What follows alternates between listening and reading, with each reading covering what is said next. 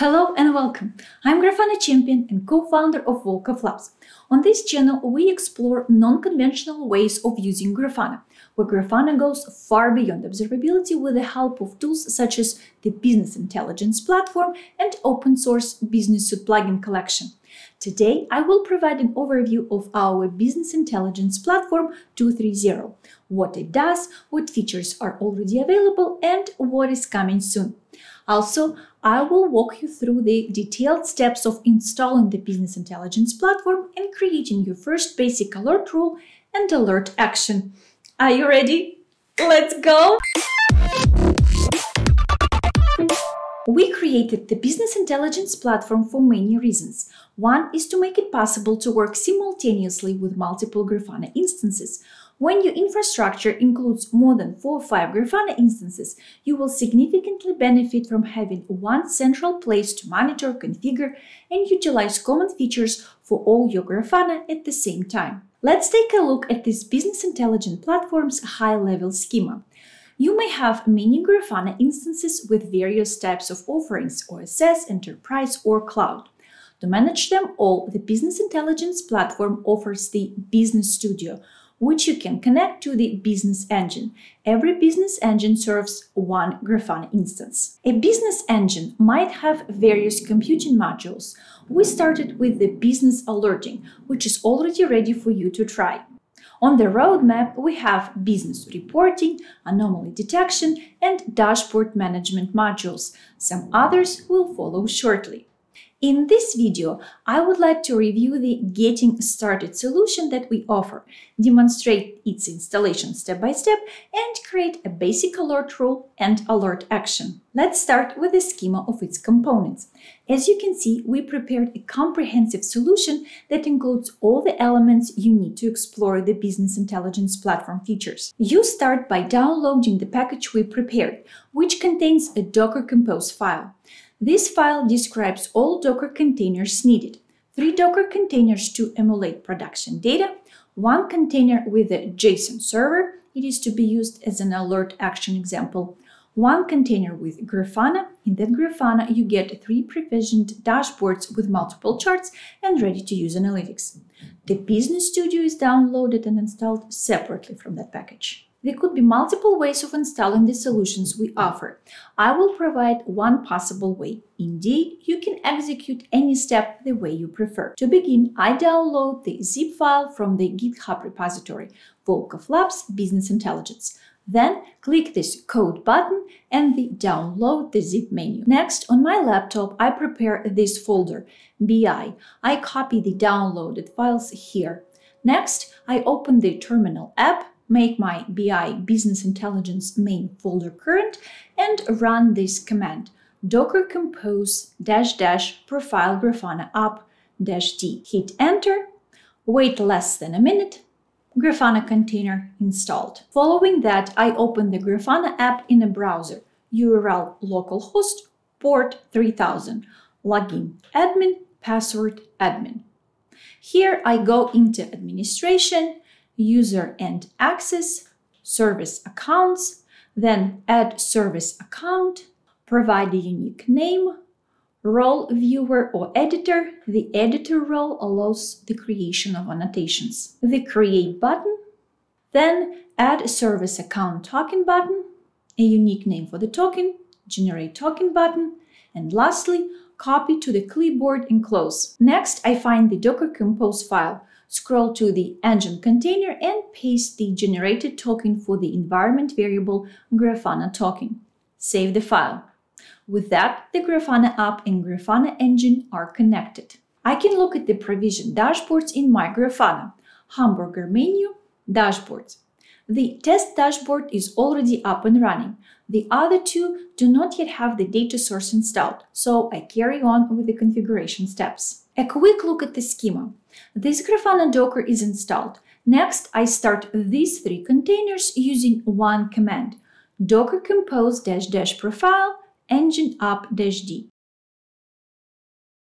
If I open the docker compose file, I see the timescale, engine, and Prometheus containers. All three have the same profile, engine. So with this one command, I start all three containers. After the three containers installation, I run docker ps to see what containers I have running. I have four containers up. One thing to point out is that the business engine has two endpoints, API server on port 3001 and scheduler on port 3002. Next, I start the Docker container with the JSON server. Docker compose dash dash profile actions up dash d. Right after, only one container is left with the script emulating production data. I run the following command docker compose dash dash profile emulator up dash d. Then docker ps. Here we go. I have six containers running. Another quick look at the schema. All these containers are installed and started. If I open my Grafana now, all three dashboards are up and running. The production data is being emulated and a lot of business engine stats have already been collected. In this video, I work only with one dashboard, test dashboard. I will cover the rest too in the following video. However, feel free to experiment with all of them now. They are there for you. The last piece is the Business Studio. To install, I open the link volkovlabs.io slash big slash release. Scroll down, here I can select an appropriate version. For me, it's the first on the list, which is for the Apple MX processor. Click on it. The DMG file has been downloaded. I double click on it, drag and drop the icon. With that, the Business Studio appears in the application folder. I double click on it and here you go, I have the Business Studio up and running. At this point, all elements from the Getting Started solution are installed and I can start the Business Studio configuration. My first action is to add a business engine. Add an engine button, then I specify the name as local URL as localhost port 3001. A community token is provided by default. Down here are some token details such as when it is issued, when it is going to expire, and the limit for business jobs. In this version of the Business Intelligence platform, there is only one type of job, business alert. In the future, that also include other jobs. Click the Save button. The edit engine appears in the list of available engines with a green check mark. A quick look at the schema. I installed this connection. My Business Studio has one business engine now. The only module available today is Business Alerting. Let's see how to configure it. In short, business alerting is a configured action that is triggered by an alert rule breach event. The action is usually one or a combination of the following sending an email, sending a text message, saving notification to a file, Node-RED integration, or any other third-party API call. There must be at least one configured action. I start with the most basic action, writing into a container log. Click on the Engine Entry, Actions step, Add Action button. So I will use the title Logs, type Logs, and check here to make it is a default action. For simplicity, I can keep the message template as default. In the preview, I can see what the alert message is going to look like. Next, clicking the text connectivity is a good idea to ensure the action is viable. All right, this note is a good sign. After that, I click the Save button. All right, once again, this action writes a message into the business engine container. I will show you that a bit later. Now let's configure the data scenario that should trigger that action. To explain this better, I open my Grafana dashboard, localhost 3000, the dashboards menu, test dashboard. Actually, this dashboard is provisioned. Just in case I need to change anything, I will create a copy of it and work with the copy. So save as here with the name test dashboard demo. I open this random walk panel in edit mode, replace this scenario and panel title. All right, keep going. It is a Grafana time series panel displaying the data flowing from the test data data source generated by the C CSV metric values scenario. For the string input parameter, I use 150, 90, 30, 5, 0. Let's say a specific range of values is acceptable and uh, when a value is beyond that range, I want to see an action. Down here in the thresholds section, I create the following thresholds. Base, yellow color, then 40 with green color and 80 red color. That configuration means that I have three ranges. Values below 40 and above 80 require attention, and values between 40 and 80 are acceptable. Save dashboard. From here, I can switch to the Business Studio to create an alert rule. The Alert Rules tab and click this plus Add Alert Rule button. I call this rule Message if Beyond Range and keep the default schedule, which checks my production data every minute. The dashboard parameter. In this list, I have all dashboards from the connected Grafana instance. I select the test dashboard demo.